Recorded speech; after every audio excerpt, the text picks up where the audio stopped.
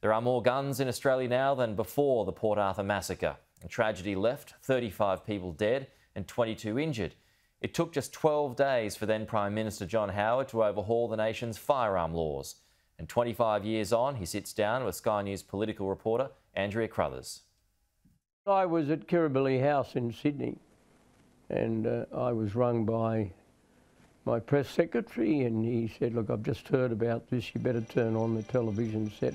Gunman kills 25 people in Australia's worst massacre. The situation remains tense at the Port Arthur site. There's no understanding of this.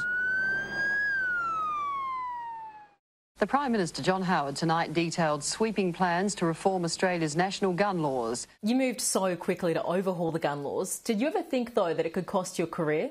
No, I didn't really think about that. Um, I knew it was unpopular with some sections um, of my own coalition, but it was very popular throughout the country.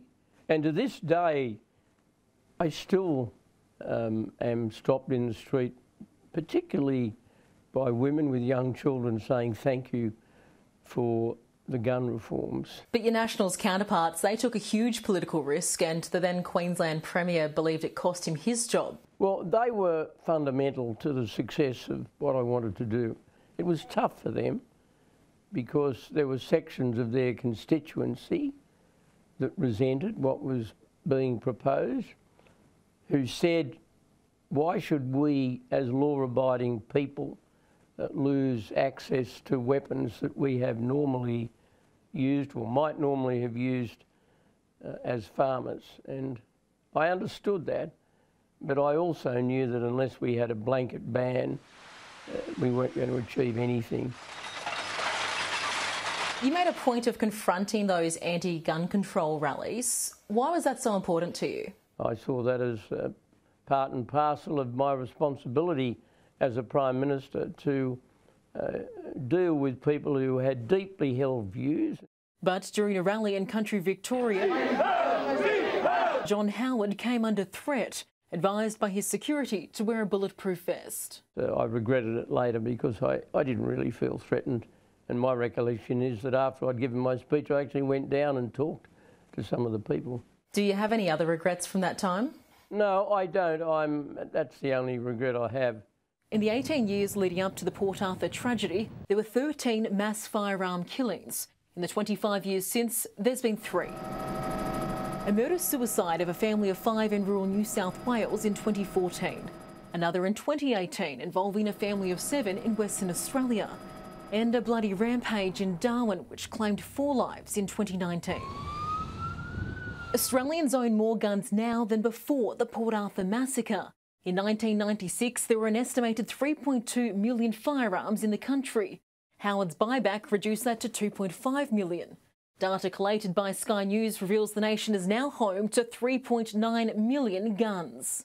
An estimated 260,000 of those are illicit. Of the almost 3.7 million which are registered, New South Wales has the most, accounting for a quarter. Queensland and Victoria are the next biggest gun toters. One of the criticisms of the reforms is that there's still 25 years later no effective national database whereby states and territories provide real time data to track firearm movement. Should the Commonwealth have taken control for that reason? Well, the only way you can take complete control uh, in a situation like that in a legal sense is uh, to have a referendum to of the Constitution and transfer the power. Now, that didn't prove necessary because the states agreed to what we put forward. Now there are, there's been a little bit of fraying at the edges regarding the database, but gee, uh, the, the ban has worked. But do you see that as a gap that needs to be addressed? I don't pretend to have followed every single uh, element of the so-called gap with the database, but what I do know is that the fundamental objectives of the national gun laws were achieved and those gains have been maintained over the last 25 years. I'll leave it to those now in power to, to uh, uh, deal with any uh, details where some fraying may have occurred. Governments have made numerous attempts over the years to soften the gun laws. In 2018, the Tasmanian Liberal government secretly planned to, but backflipped amid public backlash.